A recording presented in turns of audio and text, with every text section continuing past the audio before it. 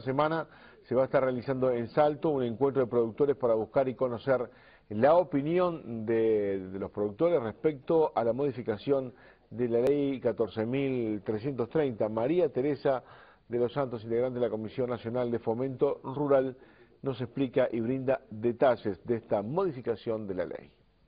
El 7 de julio tenemos un encuentro en el marco de la ley 14.330 en el departamento de Salto. Precisamente nos vamos a reunir a la una de la tarde en el Palacio Córdoba de la Intendencia Municipal de Salto. Este, y bueno, ahí vamos a tratar con autoridades nacionales este, y departamentales este tema que nosotros queremos este, eh, una reforma o, o, decir o incluirlo en la ley 14.330 por ejemplo, el que nosotros podamos administrar campos, es un ejemplo que te pongo, este, o podamos estar en la ley de compras públicas, que en este momento no está pasando eso. Entonces invitamos a todos los representantes y, los socios de nuestras entidades de base del norte del país a que nos acompañen,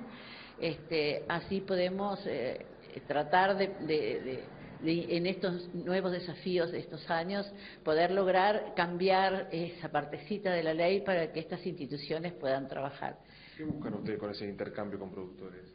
Y por supuesto la voz de los productores, porque los productores quieren sumarse a que haya realmente aceptar los desafíos de, esta época y que, se, que se, se, agregue a la ley 14.330 la posibilidad de que todas las sociedades de fomento este, de base de, Comisión Nacional de, Fomento Rural puedan,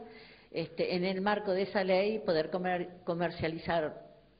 con, las compras públicas, con el Estado, y también este, podamos eh, administrar campos, ¿verdad?, que,